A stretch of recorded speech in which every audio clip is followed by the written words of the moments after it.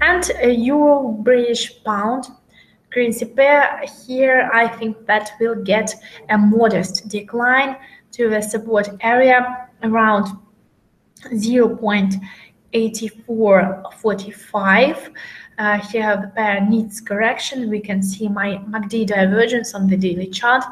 So uh, small declines are favored, but the general uptrend here remains in its uh, place.